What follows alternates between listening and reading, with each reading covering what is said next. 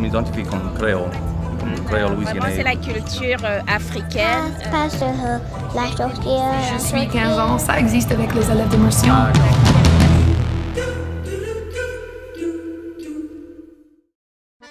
Bonjour mes amis, ici c'est Jack Montoucet.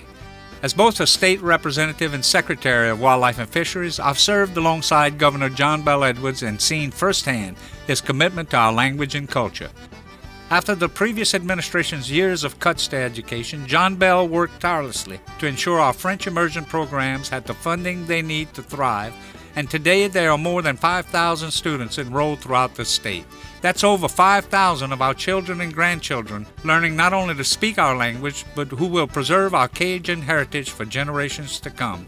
Under John Bel's leadership, Louisiana is now officially recognized as a francophone region for the world, and he will continue that work for the next four years as governor. Mes amis, s'il vous plaît, allez voter samedi qui vient pour un ami pour vous, pour moi, pour notre culture.